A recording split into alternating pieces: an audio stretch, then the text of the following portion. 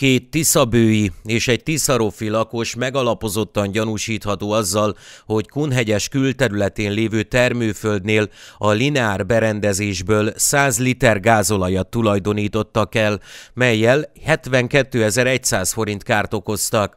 Bejelentést követően a karcagi rendőrkapitányság nyomozói szemlét tartottak, kamerafelvételeket elemeztek és adatokat gyűjtöttek.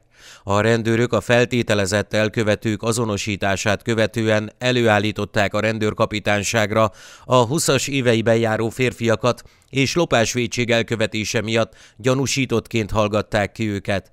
A terheltek már érezhették, hogy közel állnak a lebukáshoz, ugyanis az üzemanyag leszívásához használt műanyag csövet egyszerűen mosógépbe dobták és kimosták, hogy a nyomokat eltüntessék.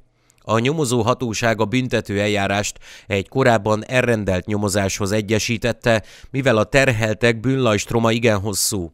2022-ben több mezőgazdasági céget károsítottak meg magatartásukkal, több milliós lopási és rongálási kárt okozva, hiszen öntözőberendezésekről kábeleket, gázolajat, akkumulátor tulajdonítottak el.